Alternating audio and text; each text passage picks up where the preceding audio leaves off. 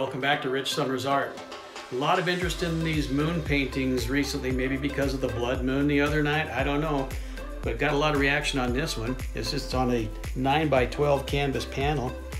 And uh, it got so much favorable reaction that we are going to recreate something like this. Won't be exactly the same, but it'll give you an idea how to do it.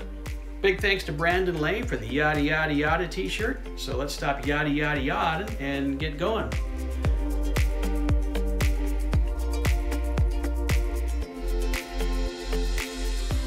What I did first was prep the board, little midnight black, some blue, some purples, just kind of get that covered up. And then I did a quick sketch, kind of like what I had here with a pastel pencil. Got the full moon, and I just used like a actually a roll of masking tape and traced around it to get my moon nice and round. Sketched in the mountains and the water line. So we're ready to go. Let's get painting. So let's get going with our color palette. Really a simple painting, so you don't need a ton of colors to do this painting. Got some titanium white, cad yellow light, some yellow ochre, some cad orange, cad red, burnt sienna, ultramarine blue, dioxazine purple, and just a little bit of midnight black. And we should be able to do this whole painting just using those colors right there. So I'm going to start out with a number two synthetic bristle brush. Grab some burnt sienna and some cad orange and start laying in the base color of the moon, kind of a nice rich cinnamon color. Putting a fair amount of paint down because I want that rich color to be the base color for our moon. And using that same color, we can start painting in the mountains. But I'm going to switch to a number four bristle brush. And just using earth tones, going to block in the hills.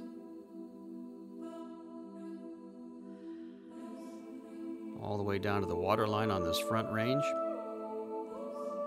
I can already tell that I really don't like the ridge line or the horizon line on the other range, so I'm going to change that. Grab some yellow ochre and some cad orange to start laying that plane in, adding some purple, and work our way down to the water line.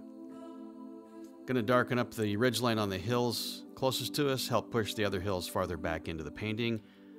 And then with a number six bristle brush, I grab some purple, ultramarine blue, and a touch of black to lay in the water. Added a little burnt sienna to paint in the land in the foreground. Okay, got the canvas covered. Let's wipe out our lines and sketch marks. See if we can't start bringing this painting to life. Gonna grab a small bristle brush, some titanium white and some yellow ochre and using horizontal strokes with a really light touch, just lay in that first layer of the reflection of the moon across the water. And using the same color, same brush, start highlighting the horizon line on our mountains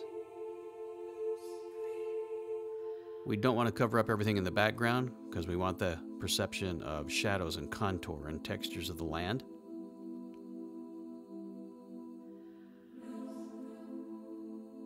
And using the same brush and the edge of the brush with an extremely light touch. I am barely touching the canvas right there, just letting the tooth of the canvas on the panel pull the paint from the brush. going to create the glow from the moon in the sky. And once we brighten up that moon, you're going to see what a difference just that effect right there actually makes with the painting.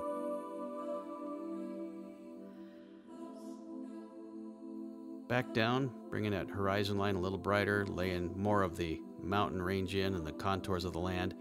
A lot of that's going to get covered up with some big trees, but you got to lay it in there.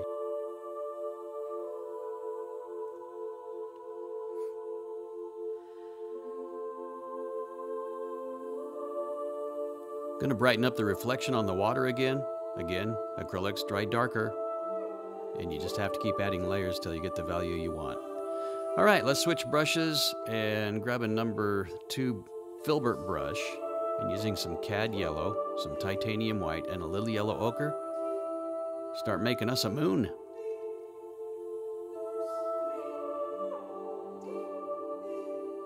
Just like the land, you don't want to cover everything up.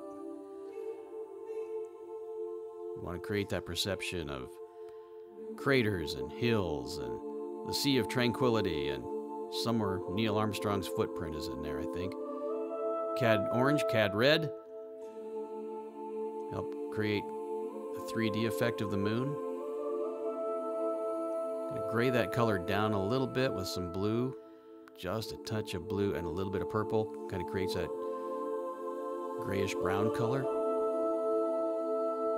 Then we'll go back in with titanium white and cad yellow and a little yellow ochre. Working our way around the moon, not covering everything up.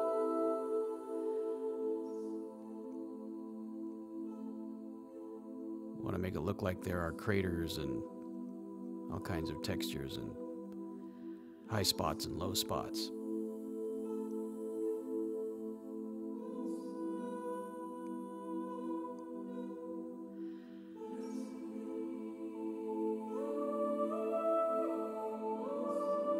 Using a fine tip detail brush, a little titanium white, and a little blue. Just tapping the painting around just to put some stars up there in the sky. Back to the moon with some titanium white and some cad yellow. We are going to continue to highlight this moon and work on this moon throughout the painting until we get the values and the brightness where we want them.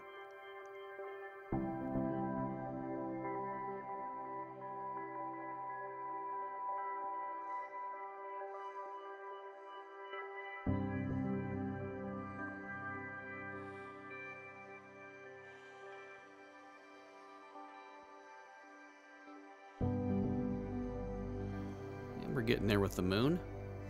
Okay, we're going to grab a little bigger bristle brush and using some purple, some ultramarine blue, and a little black, lay in the tree line. A lot of that's probably going to get covered up, but just in case it shows through, you got to have it in there.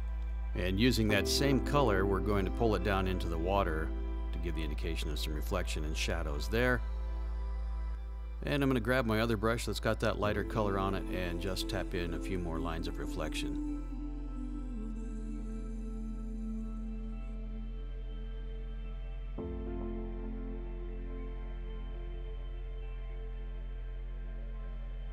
Okay, back up to the moon. Smaller brush, brighter colors, titanium white, cad yellow.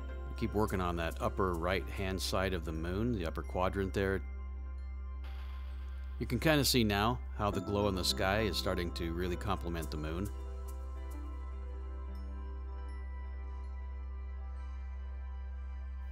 I'm gonna grab a bigger synthetic edged bristle brush, kind of a chisel end on it, and start laying in a pine tree here.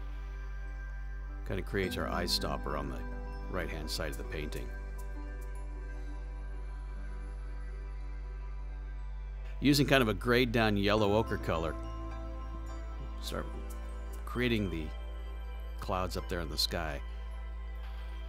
Because the moon is always going to be behind those clouds, and the clouds are always going to be behind the trees in your foreground.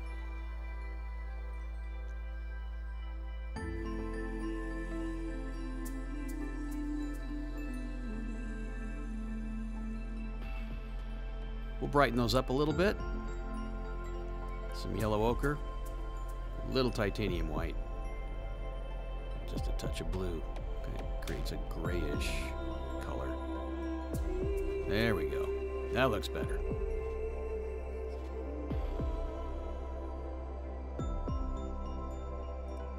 Reflect some of that down in the water.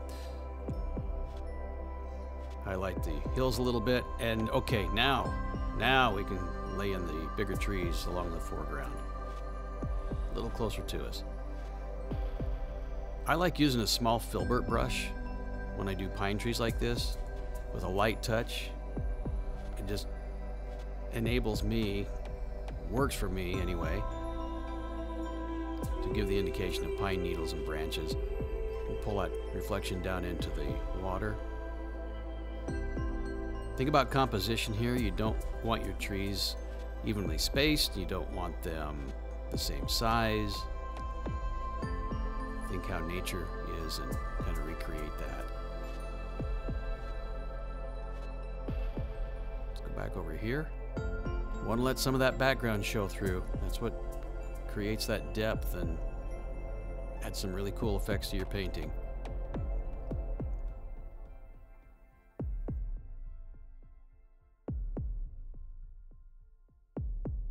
All right, I switched to a script liner brush, really fine point detail brush. Make up a really kind of soupy black color. And using that fine line, lay in a bunch of trees that have lost their leaves. Maybe it's late in the year. Maybe these are dead trees. I don't know. But those branches look pretty cool with the light from the moon coming through from the background.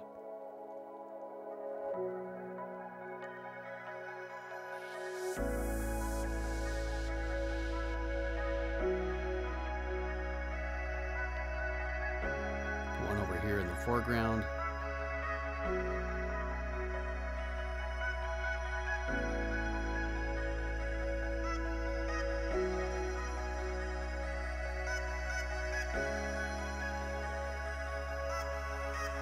Gonna use my T-square and a little gray, lay in our water line. We'll brighten up the moon a little bit and keep working on that reflection as it's coming through the trees brightening up our water line and brightening up the reflections in the foreground. So it looks like that moon is reflecting across that water. At this point, it's just a matter of getting the values where you want them by adding more and more layers as they dry.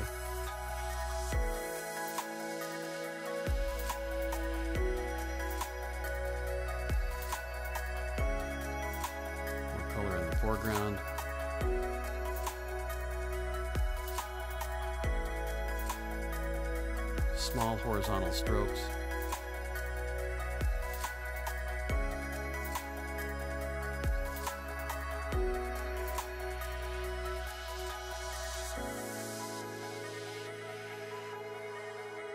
Back to our bristle brush with that same color we used in the pine trees, some weeds and grasses and stuff growing up along the shoreline right here. Gonna grab that script liner brush again, same color, and start laying in detailed weeds, grasses, marsh grasses.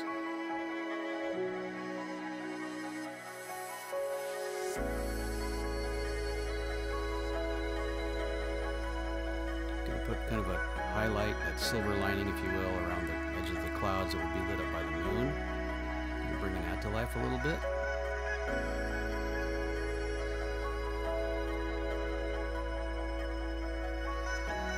The same color in the script liner brush, let's go in and put some lighter grasses in, maybe catching the moonlight.